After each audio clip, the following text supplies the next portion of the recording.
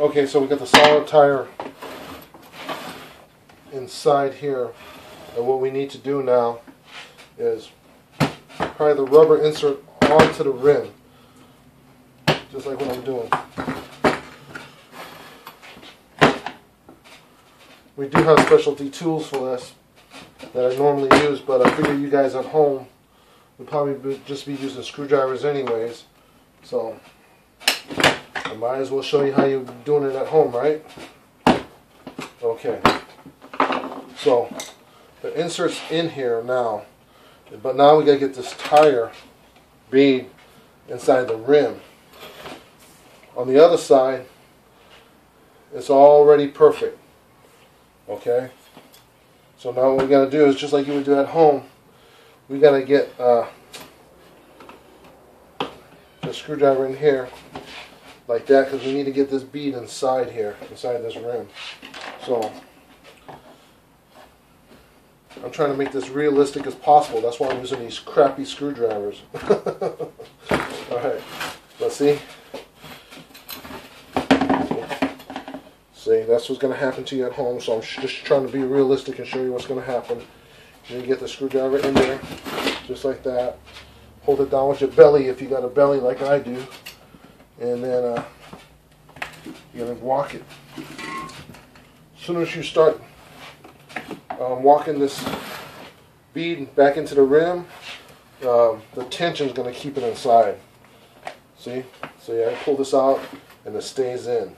So when that starts doing it, you don't need to keep any screwdrivers inside and you can just start walking it. But you want to make sure you push down on it so the bead goes in.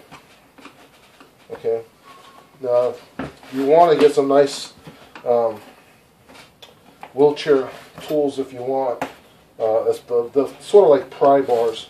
It'll keep you from scratching up your rim too. But this isn't an expensive rim. Okay, see what I'm doing? I'm walking the walking the screwdriver down, probably about three to four inches at a time, just like that.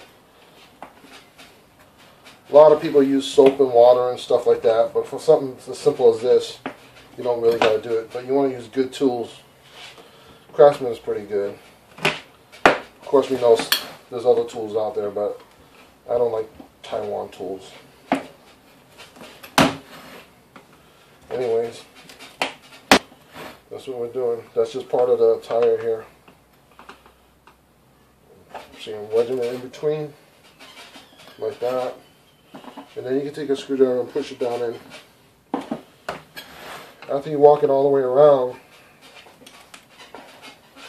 you want to make sure that um, all of it's um, is flush inside the rim. So, so you won't have like this sticking out like this is right here. So be careful. Use some good tools. Um, you should wear safety glasses. But uh, for argument's sake, I'm wearing them since the video can't see my face. So see now it's getting really tight here. Really tight, and I can still use the same screwdriver. See, and the tension is keeping. See now it's like it's even harder. So see, hear that snapping? So all around the bead, you want to make sure it's all in there nice and snug. That's it, both sides. You want to check because sometimes the other side might have came out and you didn't know it. Okay? Good luck to you.